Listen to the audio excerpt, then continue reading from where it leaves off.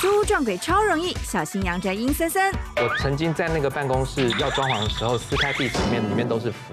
哇！符？为什么？因为有防重带嘛，哈。然后我们就走进去看，我就一直觉得那个角落有一个人，而且我确定是女生，她就是这样在看我们。那屋主就说：“对啊，就是他们那个房子其实是一个。”凶宅是个凶宅，所以他自己没有住。今天晚间十点，东森超市三三平的《妈妈好神之足女家》。